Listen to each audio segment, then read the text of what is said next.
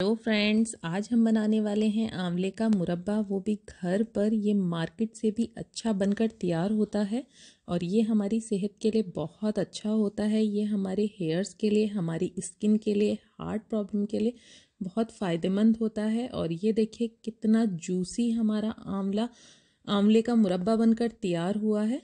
और चलिए अब हम इसे बनाना स्टार्ट करते हैं। यहाँ पर मैंने वन के के करीब आंवले लिए हैं। यहाँ पर मैंने थोड़े पके हुए आंवले लिए हैं। ध्यान रहे, आपको हरे आंवले का यूज़ नहीं करना है। थोड़े पके हुए ही आंवले लेने हैं।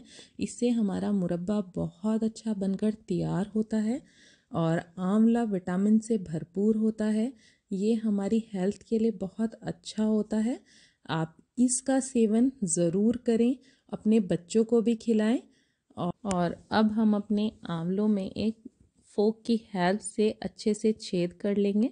ये प्रोसेस हमें बहुत आराम से करनी है। ध्यान रहे, फोक हाथ में लगने का डर रहता है, इसलिए बहुत आराम से करें। ऐसा करने से हमारे जो आंवले हैं, बहुत जूसी अंदर तक बनकर तैयार होते हैं। और ये देखिए, हमने अपने सब आंवलों को अच्छे से फोक की हेल्प से इनमें छेद कर लिए हैं। और चलिए, अब हम इसे बॉईल करना स्टार्ट करते हैं। यहाँ पर हमने एक भगोना लिया है और इसमें हमने पानी डाला है करीब डेढ़ लीटर के करीब। और इसे हम एक बॉईल आने तक उबलने देंगे। और ध्यान रहे, हमें पानी इतना रखना है कि ताकि हमारे आंवले अच्छे से डीप हो जाएँ। ये देखिए, पानी में बॉईल आ गया है और अब हम धीरे धीरे करके अपने सब आंवलों को इसके अंदर डाल देंगे। और अब हम इसे एक बॉईल आने तक कुक करेंगे। और ये देखिए, हमारे पानी में बॉईल आ गया है और अब हम इसे लिड से कवर करके करीब दो मिनट तक और कुक करेंगे।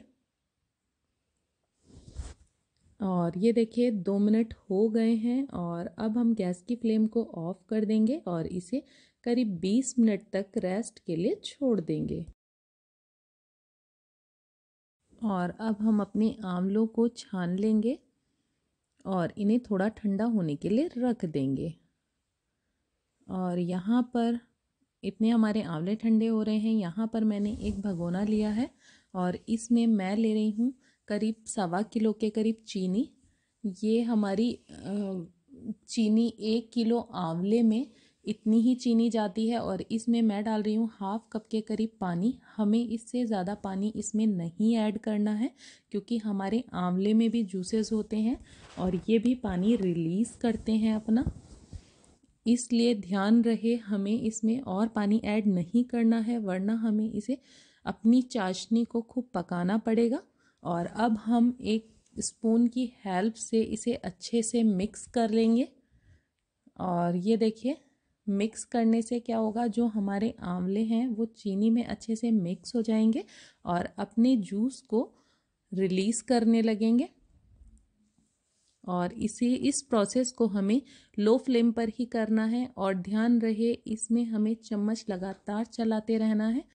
आंवले का मुरब्बा बनाते टाइम आपको एक बात का ध्यान करना है कि आप यहाँ पर स्टील के बर्तन का ही यूज़ करें।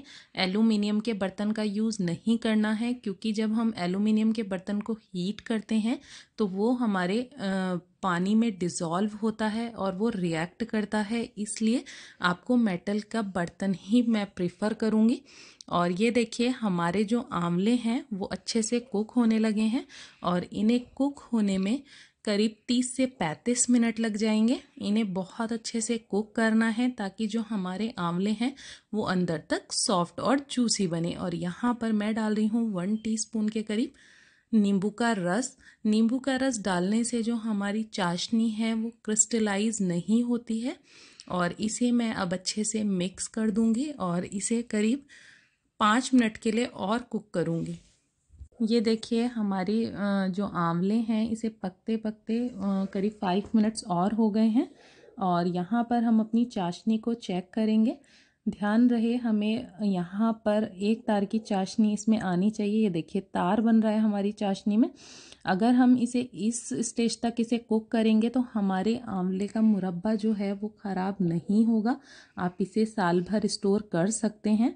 अगर आपकी चाशनी प्रॉपर नहीं पकेगी तो आपके आंवले का मुरब्बा ख़राब होने का खतरा बढ़ जाता है। आपको इस बात का खास ध्यान रखना है। और बहुत अच्छे से हमारे जो आंवले हैं वो कुक हो रहे हैं।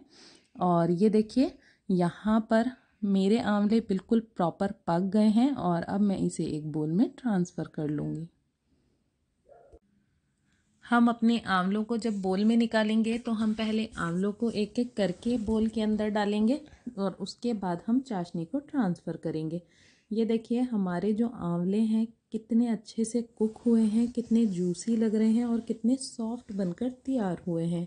अगर आप इसे प्रॉपर मेज़रमेंट के साथ बनाएँगे तो आपके आंवलों का मुरब्बा बहुत अच्छा बनकर तैयार होगा और इसे टोटल फोर्टी मिनट्स लगे हैं बनाने में। और ये देखिए, हमने अपनी चाशनी भी ट्रांसफ़र कर ली है बोल में और अब मैं यहाँ पर ऐड कर रही हूँ हाफ़ टी स्पून के करीब ब्लैक सॉल्ट और थोड़ा सा फ्लेवर के लिए मैं यहाँ पर हाफ़ टी स्पून के करीब ब्लैक पेपर पाउडर डाल रही हूँ और हाफ़ टी स्पून के करीब यहाँ पर मैं इलायची पाउडर डालूँगी। इससे जो है हमारे आंवले में बहुत अच्छा सा टेस्ट आ जाएगा और जो सॉल्ट है वो इसमें मीठे को बैलेंस करेगा और इसे हम अच्छे से मिक्स कर देंगे और फिर हम इसे एक एयर टाइट कंटेनर में करके इसे स्टोर कर लेंगे। ये ख़राब नहीं होता है। अगर आप इसे साल भर भी रखेंगे तो ये बिल्कुल ख़राब नहीं होगा। आपको मेरी ये रेसिपी कैसी लगी, आप प्लीज़ फीडबैक में मुझे बताएँ।